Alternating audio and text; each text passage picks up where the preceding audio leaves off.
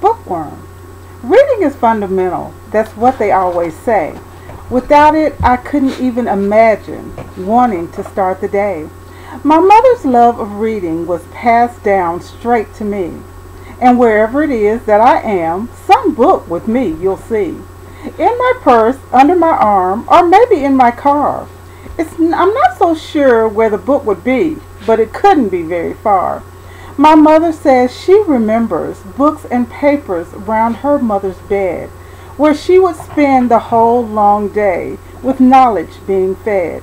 I love to read all kinds of things. I never get enough. I guess I could live without my books, but boy, it would be tough.